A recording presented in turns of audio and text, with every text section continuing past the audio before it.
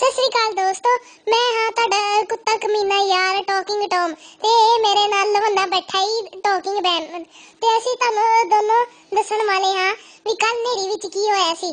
ਦਰਅਸਲ ਨੇਰੀ ਵਿੱਚ ਇਹ ਹੋਇਆ ਸੀ ਟਾਕਿੰਗ ਟੌਮ ਨੇ ਟੱਟੀ ਓ ਕੁੱਤਿਆ ਓ ਸੌਰੀ ਬਿੱਲੀ।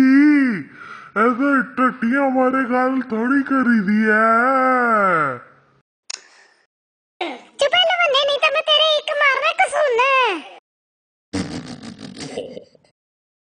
वो आजा देख लेंगे फिर।